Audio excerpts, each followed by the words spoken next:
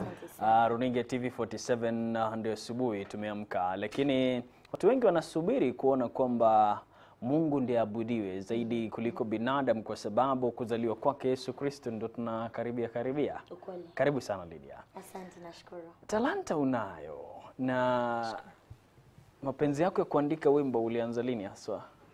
Uh, kutoka kitambo mm -hmm. imekuwa ndoto ambayo nimekuwa nayo tangu kitambo.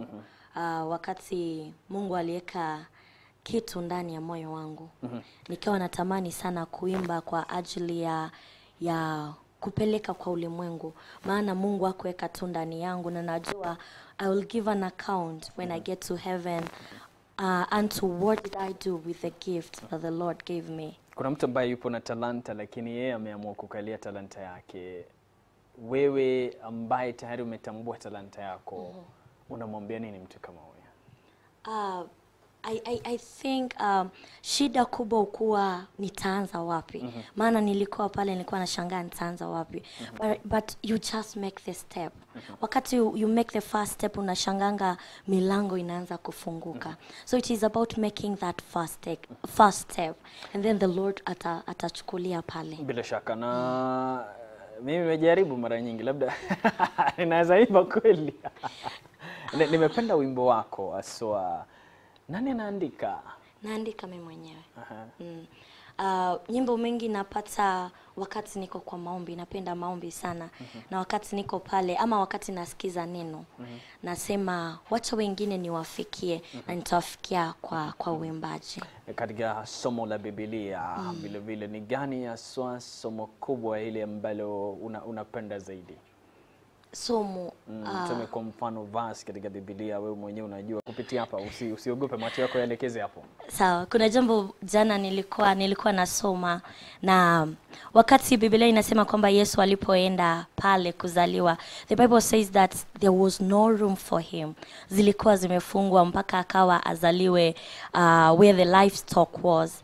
And it is for us to open our hearts though the Lord will be born in our hearts, kwamba hatazaliwa mahali pengine but specifically that he will be born in our hearts. So that is one thing that I will tell everyone. As we are tunaposherekea Krismasi, wacha Bwana asizaliwe mahali pengine, azaliwe ndani ya moyo wetu. It is time to tell Jesus you don't have to be born anywhere else. Be born in my heart. I think that is the whole thing about Christmas. That the Lord is Jesus is being born in our hearts. Bila shaka kila mtu anatarajia kusikiza vizuri katika maisha yako.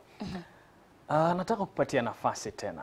Kabla nikupatie nafasi, kuna mtu ambaye unataka kumtakia kile la heri na fanaka katika Christmas na mwaka mpya? Okay, yeah, Nafasi sure. kumba vile vile. Ah, uh, I'll start with my family. Definitely, I have a very supportive family. So, to my father, who is my pastor, and my mother, and my two Kwanza kabla uendelee, babako ni mhubiri. Yes, Tangu lini ukaanza wewe pia uliingia katika mizizi ya uhubiri? yes. Pale, oh, like um, strict? Mm, strictly.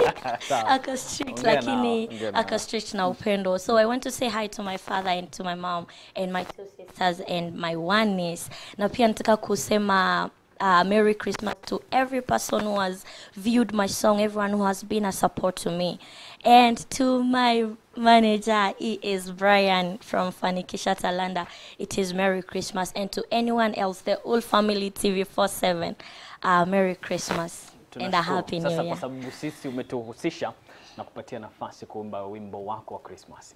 okay asante Kile sana heri. asante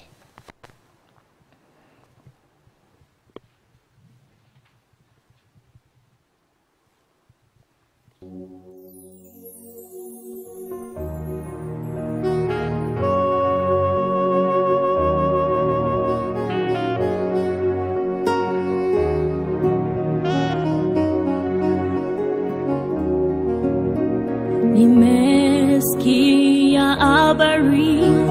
mtoto amezaliwa Bethlehemu mjini wa Judea.